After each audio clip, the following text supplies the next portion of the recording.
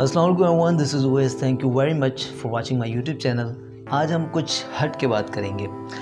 एक क्वेश्चन जो बहुत मुझे बॉदर करता है लिंक्डइन के ऊपर और आ, मैं तंग नहीं होता लेकिन मैं देख के परेशान होता हूँ उन मैसेज करने वालों के ऊपर। वो ये कि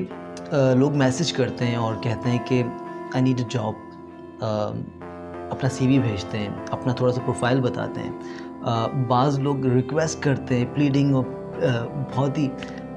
रिक्वेस्टिंग वाले स्टाइल के अंदर मैसेज करते हैं कि हमारे साथ परेशानी है प्लीज़ जॉब दिला दें वगैरह वगैरह।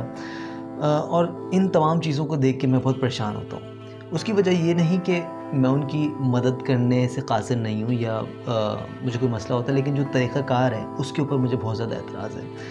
आप किसी को जॉब के लिए कहते हैं तो उसकी कुछ वजह होती है। जिसमें से पहली वजह है कि आपका उनसे रिलेशनशिप स्ट्रॉन्ग होता है। मैं अगर अपने किसी दोस्त के पास जाता हूँ, बस अपनी परेशानी बयान करता हूँ तो उसका वाहिद रीज़न ये है कि मेरा उससे रिलेशनशिप कनेक्शन बना हुआ ऑलरेडी है, जिसके ऊपर मैं उसके ऊपर ट्रस्ट करके अपना परेशानी उनको बताता हूँ। लेकिन जब आप लिंकडिन के ऊपर किसी शख्स को मैसेज करते हैं और कहते हैं कि आई नीड अ जॉब मैं बहुत परेशान हूँ और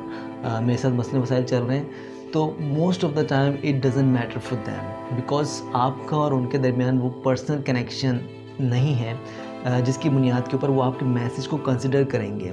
और बिलीव मी अगर आप एक मैनेजरियल पोस्ट के ऊपर हैं या किसी भी सीनियर या even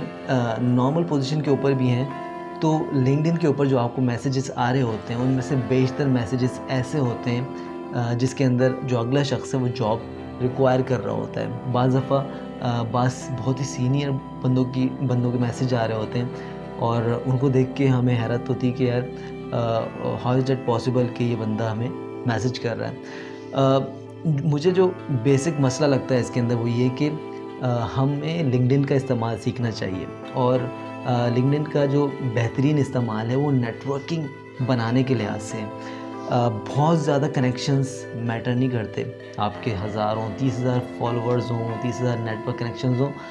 it doesn't matter what matter is your meaningful connections जो आपके कनेक्शन है, वो आपके लिए कितना फ़ायदेमंद साबित हो सकते हैं। आपकी आपस में कितनी इंगेजमेंट रहती है, आपकी आपस में कितनी ज़्यादा बातचीत होती है। और जब दो बंदों के दरमियान कम्युनिकेशन हो, बातचीत हो तो ज़ाहिर सी बात है, उनका रिलेशनशिप बिल्ड होता है, उनका रिलेशनशिप स्ट्रॉन्ग होता है, दोनों एक दूसरे को समझते हैं और फिर आप इजीली अगर आपको कभी जॉब की ज़रूरत हो तो आपका, आप एज अ फ्रेंड उनके पास जाके रिक्वेस्ट कर सकते हैं, पूछ सकते हैं कि अगर तुम्हारे सर्कल के अंदर कोई जॉब आए, तुम कैसे बता सकते हो? लेकिन जब आप बहुत से लोगों को लिंकडिन के ऊपर मैसेज करते हैं और कहते हैं क्या नीड अ जॉब तो इसका पहली बात कोई फ़ायदा नहीं होता और दूसरी बात इसका बैड इम्प्रेशन जाता है और most of the time negative चला जाता है। uh, क्योंकि हो सकता है कि आप किसी शख्स को मैसेज कर रहे हो कल को आप उसके सामने इंटरव्यू में बैठे हो वो आपको पहचान ले और वो फील करेगा कि यार दिस पर्सन जो मुझे अनसॉलिसाइटेड मैसेजेस करता था और न जाने कितने लोगों को करता होगा। तो एक बैड इम्प्रेशन है। तो सबसे पहली चीज़ जो हमें सीखनी चाहिए वो कनेक्शन बिल्डअप रिलेशनशिप बिल्डअप करना आना चाहिए। लिंकडिन का प्लेटफॉर्म है, कोई भी प्लेटफॉर्म हो, जिसके ज़रिए हम किसी से कनेक्ट हो सकें और कनेक्ट होने के बाद जो पहला काम हमने करना है, वो रिलेशनशिप बिल्ड करना है। आप बहुत से तरीके कर सकते हैं, उनसे बात करके, उनसे बात इनिशिएट करके